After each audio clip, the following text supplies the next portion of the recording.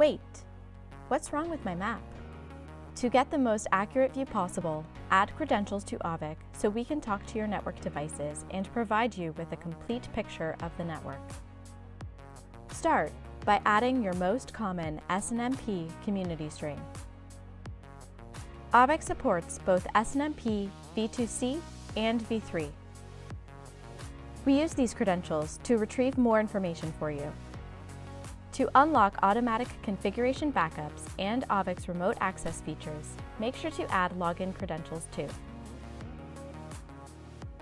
Auvik uses SSH or Telnet to access a device, but if you only know the web interface credentials, they'll usually work for SSH too.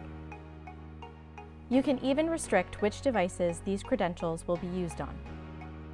And that's it! Now sit back, relax, and watch your network come to life.